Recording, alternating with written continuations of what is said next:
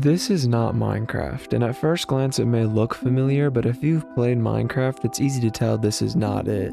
I mean, look at it.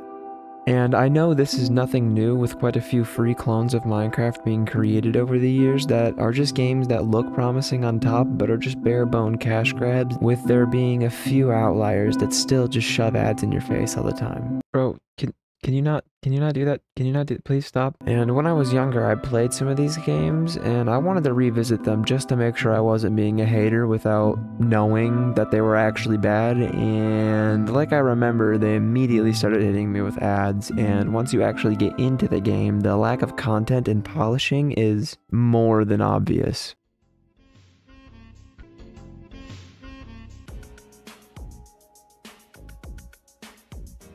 Oh, god.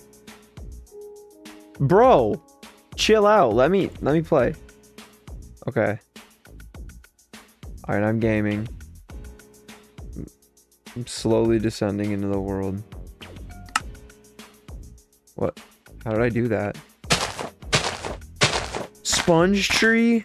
So yeah, the sponge tree was probably the most interesting thing I saw, with the rest of the game just being randomly generated landscape with no caves, no vegetation, no animals, and no Anyways, what I was trying to say is that this game is really bad. Like, I, I don't know who is playing this, but the fact that these have been around since I was like seven has me very suspicious. In fact, actually, let me let me go look at the ratings on this game.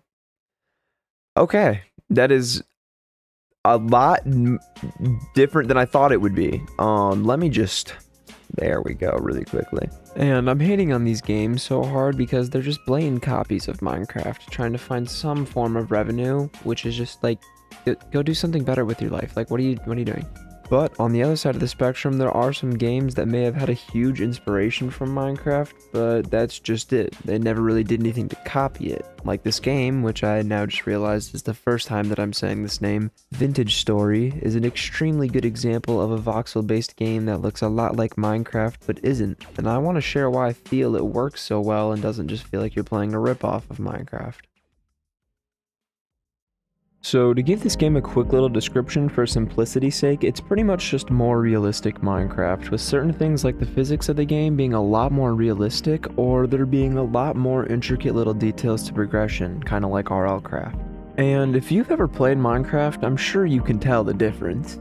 Now, a few of my favorite things this game does that I've gotten to so far because I've only played so much of the game and I know there's a lot more that I can do that I probably haven't even messed with yet but it's the tool making mechanics and being able to prospect, which is just finding specific minerals in the ground if you don't know what prospecting is. I, I didn't know either before I learned. These two things alone make the game incredibly enjoyable, as you can probably guess that these aren't the two only things in the game, with there being a huge catalog of items in order to be able to make everything about the game just that little bit more realistic than Minecraft. Like for example, in Minecraft you can just go punch down a tree, find a cave, and most likely you'll find some iron and boom, you're in the Iron Age in like 10 to 20 minutes. And yes, this is me playing right now, and yes, I did find iron in like 10 minutes, and then literally like a minute or two later found diamonds, enough to make a diamond pickaxe, and that's pretty much, I feel like this proves my point pretty well. It's, it's not that hard to get some pretty good shit in Minecraft really quickly.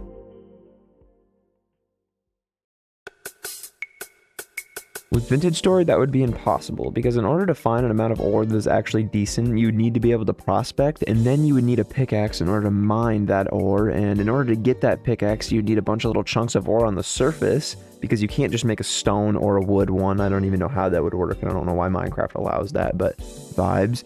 And then in order to make those chunks of ore into a pickaxe, you need to get some clay and do some pottery. And then after you get that pickaxe, you're probably going to need some like sticks and other tools that you're going to have to knap out of flint in order to even keep you alive to be able to do all this. And speaking of that, you're probably going to need a shelter and food, which in Minecraft, that would be easy peasy, no problem. But anyways, it gets really complicated really quickly to do something that in Minecraft would be very, very easy. And if it doesn't paint a picture a little bit of why there are totally differences in this game, then I, uh, I don't know what will. Now, I'll explain prospecting ore in a second, but the reason I like forging so much is because it's honestly very rewarding and relaxing. And what I mean by that is it doesn't feel too easy, like throwing some ore in a furnace and just starting to make tools out of chunks of metal. But it also doesn't feel like you're taking hours out of your day to forge a tool as it probably would in real life.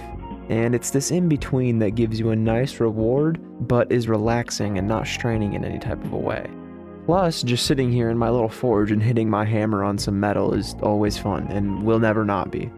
And the prospecting falls into the same categories of rewarding and relaxing, where instead of just randomly going out into the world and trying to get lucky finding ore, like in Minecraft, in Vintage Story you can use a prospecting pickaxe to scan the ground for certain minerals within the area and slowly follow the trail until you get the highest rating you can find, and then when you do that, it's very rewarding because it might take a while to get there, but once you've found a vein and mine down into it, then you will have more than enough material for a while. And because this game has a very calm and pretty aesthetic, this process is very relaxing. Well, unless you start getting chased by a bear.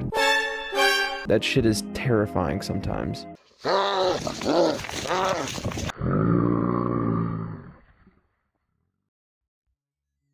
And going insane can be terrifying too. And if you're wondering what I mean by that, I'm sure some of you have noticed this bluish turquoise cog down here. That is basically my sanity, and if it gets low enough, these little gobblegees called drifters start spawning, and alone they may not do too much damage, but if you start dealing with like three or more of these guys, it's game over.